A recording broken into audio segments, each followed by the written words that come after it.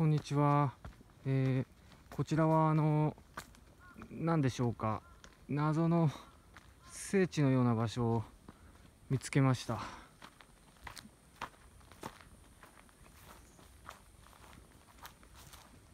えー、これはあのその弘法大師空海でしょうか。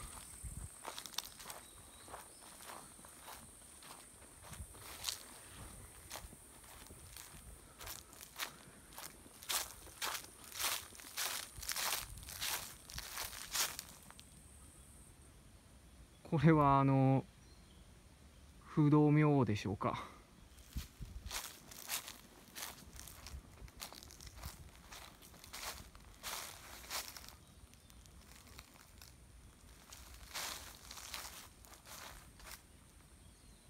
いろいろあのこうなんていうか神々がおりますね。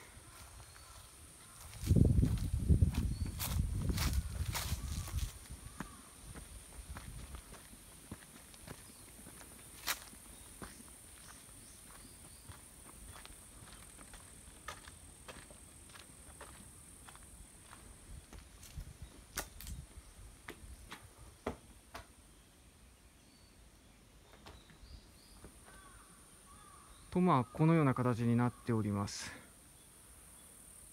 それではあのご視聴ありがとうございました。